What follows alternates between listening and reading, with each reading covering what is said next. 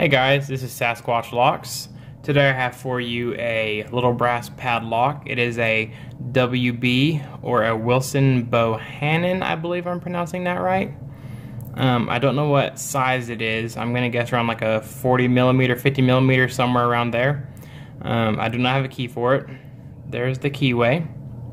This lock was on my gate at my shop. It says OG&E Series 2 on it.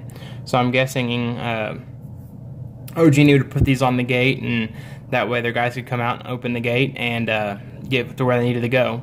It was also with many other locks on the gate. So each each uh, the locks connected, you know, separate link, allowing different people to open the gate. So let's go ahead and pick this today. Use top of the keyway, and I'm going to use a pick I made. It's kind of a medium hook, um, with a little uh, of an angle, kind of like a gem, Peterson gem. All right, let's see. Pin one two, three. By the way, it's a five pin lock.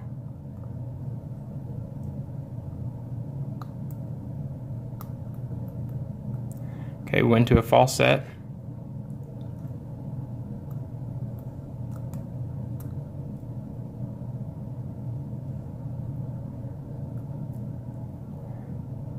Counter rotation on one.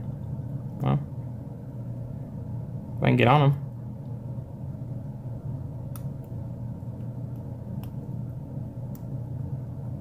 Got one. We lost our false set.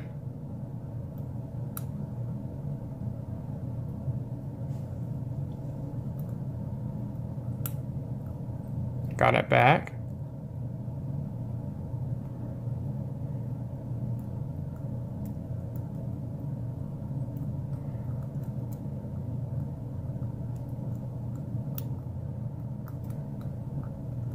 Got our false set back again.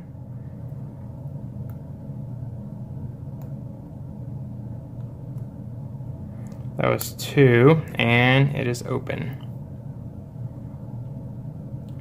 It automatically locks back once I let off the tension. I tried letting it off slow to keep it unlocked, but it just automatically goes back. It's got got pretty strong spring tension on it. So there's that. Um, that's pretty much all I wanted to show you guys today. Uh, the only thing I could think of is I was trying to rake it earlier and I was having a lot of success with the Octo rake from Sparrows, which is this rake right here. It's got that cool little etched design in it. Let's see if we can get it open with that. Gotta get past that spring tension, but you still gotta balance that tension between uh, light and heavy almost. Not, well, heavy, but past that spring.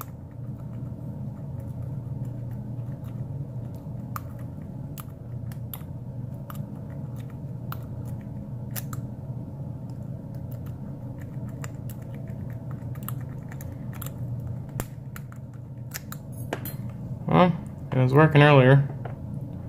Let's keep trying.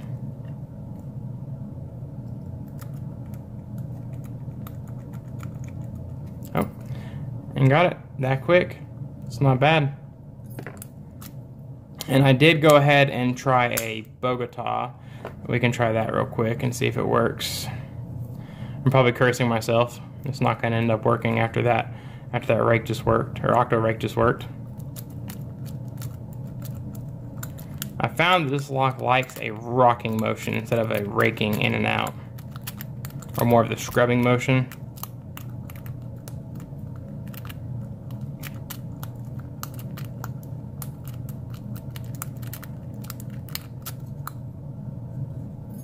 Oh.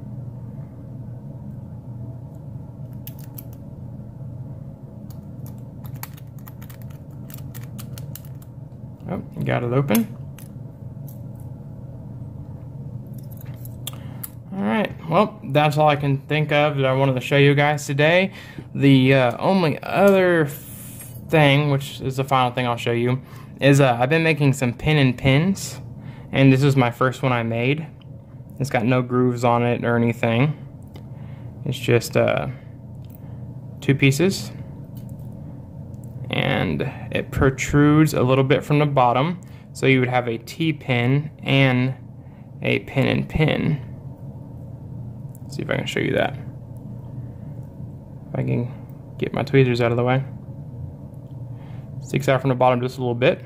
And the other one, I lost the um, pin that goes through it, but this one was serrated. You can see serrations on it, and then you can see the hole through it. So I've been uh, experimenting with pin and pins. I've had a lot of fun making them. But uh, that's all I got for you guys today. Uh, please like my videos, uh, subscribe, share them, and uh, don't do anything illegal. Thanks, guys.